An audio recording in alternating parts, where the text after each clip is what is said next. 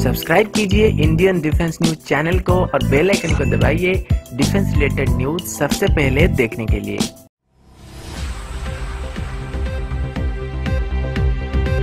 नमस्कार दोस्तों, मेरा नाम है अंशुमन नायक और आप सभी का बहुत बहुत स्वागत है इंडियन डिफेंस न्यूज़ के डिफेंस टॉक सीरीज़ में, जहाँ पर हम रोज नए नए डिफेंस अपडेट्स के बारे में बात करते हैं। तो चलिए देर ना करते हुए आज की वीडियो शुरू करते हैं। आज की पहली अपडेट इलेक्ट्रो ऑप्टिक सिस्टम को लेके है। कॉन्ट्रो प्रिसिशन टेक्नोलॉजी नाम की एक कंपनी है जो कि इलेक्ट्रो ऑप्टिक सिस्टम और इंफ्रेड सेंसर्स को मैन्युफैक्चर करती है और इनको स्पेशली डिफेंस और होमलैंड सिक्योरिटी के क्षेत्र में इस्तेमाल किया जाता है। डीआरडीओ की तरफ़ से हमारे यूवीज में इस तरीके की सिस्टम को इंस्टॉल करने के लिए एक टेंडर को फ्लोट किया गया था।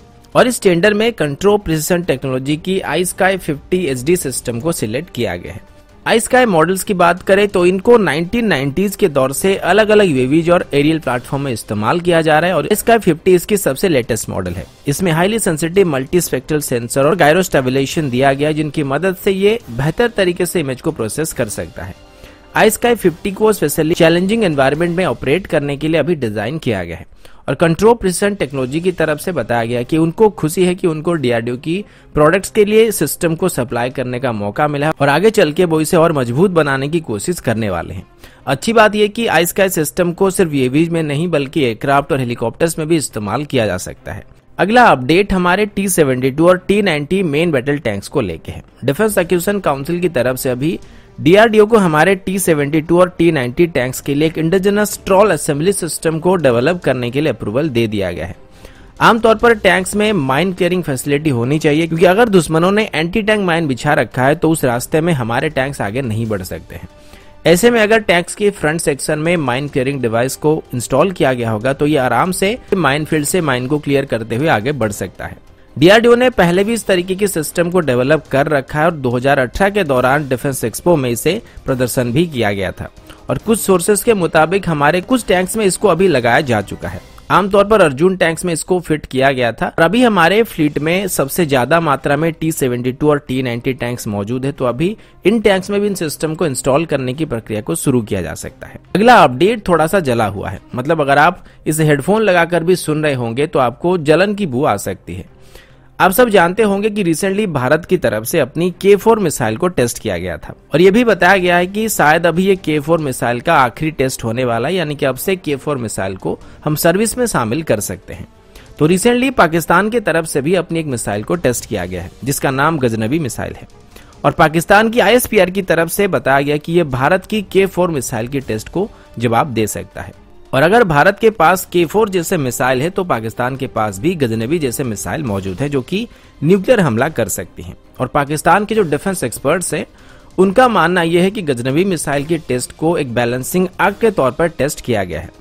और आपने नोटिस किया होगा कि जब भी भारत की तरफ़ से कोई मिसाइल को टेस्ट किया जाता है, उसके बाद पाकिस्तान की तरफ़ से कोई ना कोई मिसाइल को टेस्ट किया जाता है।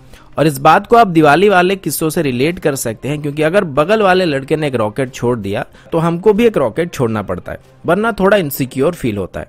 लेकिन फ़र्क यह है कि दिवाली में जो रॉकेट छोड़े जाते हैं उनकी रेंज में ज़्यादा डिफरेंस नहीं होता है।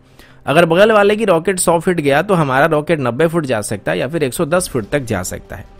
लेकिन भारत की तरफ़ से जिस मिसाइल का टेस्ट किया गया था ये करीब 3,500 किलोमीटर तक मार कर सकता है जिसमें एंटायर पाकिस्तान आ जाता है।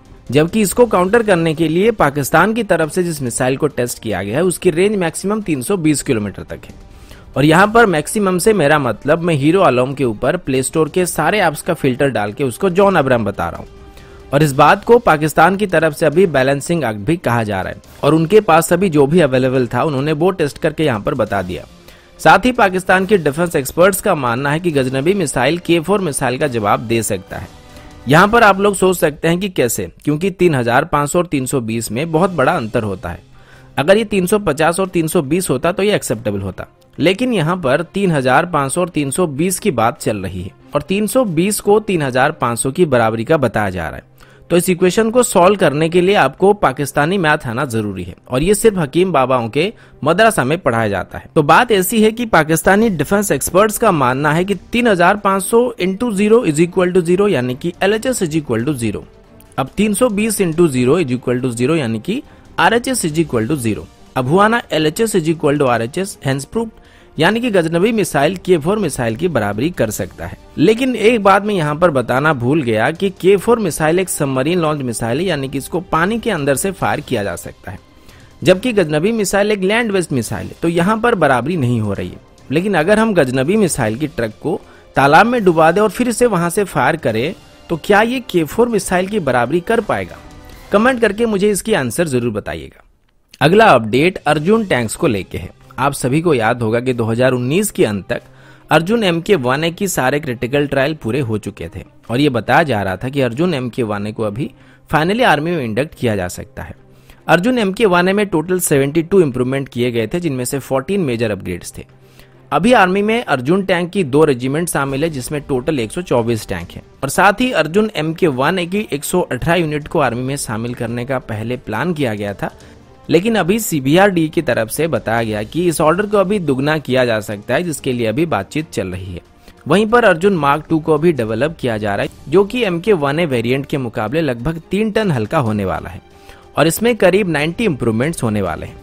अभी अर्जुन टैंक में जर्मन मेड एम इंजन का इस्तेमाल किया जाता है, जो कि करीब 1400 हॉर्स पावर जनरेट करता है। पर, अभी सीवीआरडी की तरफ़ से अर्जुन टैंक के लिए एक 1800 एचपी की इंजन को इंडिजनस तरीके से डेवलप किया जा रहा है जिसमें प्राइवेट फार्म्स की तरफ़ से डीआरडीओ को मदद किया जा रहा है। और ये इंजन लगने के बाद अर्जुन टैंक की परफॉर्मेंस काफ़ी हद तक इम्प्रूव होने वाली है। अर्जुन टैंक को जो लोग क्रिटिसाइज करते हैं उनको शायद ये नहीं पता कि जब अर्जुन टैंक को राजस्थान में टी नाइनटी और टी सेवेंटी टू टैंक्स के साथ हेड ऑन कंपेयर किया गया और इस कंपैरिजन में 20 पैरामीटर को टेस्ट किया गया था। उसमें अर्जुन टैंक की परफॉर्मेंस टी और टी के मुकाबले काफ़ी बेहतर था। और साथ ही टी टैंक से पॉइंट ब्लैंक रेंज से फायर किए जाने के बाद भी अर्जुन टैंक पर कोई असर नहीं हुआ था। अगर आपको फिर भी विश्वास नहीं होता है तो इसराइल की मरकबा मार्क फोर टैंक्स के डिजाइनर्स को, जब अर्जुन टैंक्स को इवेल्युएट करने के लिए दिया गया तो उन्होंने इसको डेजर्ट फरारी का नाम दिया। और उनके मुताबिक ये अपने सेगमेंट में सबसे बेहतरीन टैंक है। और साथ ही चाइना के मिलिट्री रिसर्च एकेडमी के डेप्यूटी कमांडर लिव दबांग ने भी अभी अर्जुन टैंक की प्रशंसा की है। तो दोस्तों, अभी के लिए इतना ही। मिलता हूँ आपसे अगले वीडियो में। तब तक के लिए जय हिंद बंदे मातरम।